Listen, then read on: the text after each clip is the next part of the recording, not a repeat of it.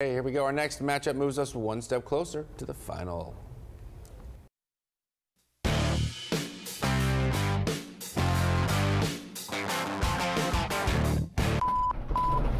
Yeah, that's a big one.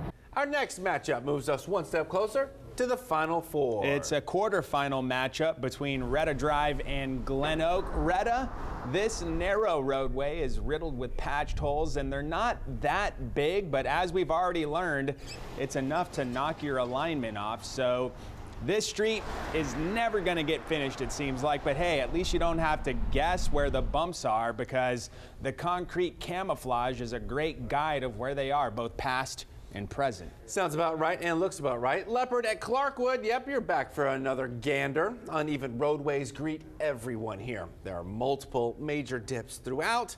Forget your wheels, one wrong slamming of your rim, and guess what? You're going to be looking to spend some extra money to fix that. It's rocky, but as we've said before, it's definitely not the Balboa, and it is extremely uneven. Thank you, all 18 wheelers out there.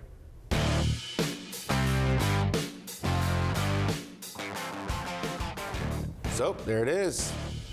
One more matchup. One more. To get to the semifinals. It's going to be Retta and Leopard, and then we're down to the last four. yes. What an evil laugh. Getting closer and closer. I have two picks.